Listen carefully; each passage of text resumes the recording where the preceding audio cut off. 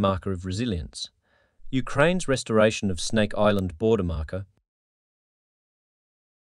with a sense of determination and historical justice, Ukrainian border guards have replaced a border marker on Snake Island, which had been destroyed during the Russian occupation. Standing beside the newly installed yellow and blue coloured marker, State Border Guard Service, Head Serhiy Deineko declared historical justice was restored. This symbolic act resonates with the larger hope of reclaiming Ukrainian territory.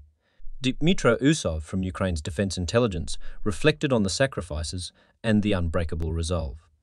We remember everyone who liberated Snake Island, and we will certainly return all our territory.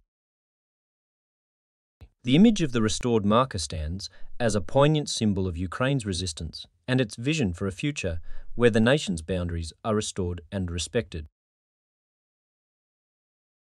Tragedy in Kherson. Children among the victims of Russian attacks. Despair and outrage have gripped Ukraine's southern Kherson region following a series of Russian attacks that claimed seven lives on Sunday. Among the victims were children. The youngest was under the age of two. Four people, including a family from the village of Shiroka Balka, lost their lives, with a 12 year old child succumbing to critical injuries in the hospital. Interior Minister Ihor Klimenko mournfully noted the whole family from Shiroka Balka died. In the village of Stanislav, two more people were killed, and another was injured after the area was hit 12 times. Both villages had been previously occupied by Russia but were under Ukrainian control since November 2022. The merciless attacks underscore the relentless brutality of the conflict, where even the most innocent become casualties of war. The enigmatic Wagner chief. Yevgeny Prigozhin remains at large.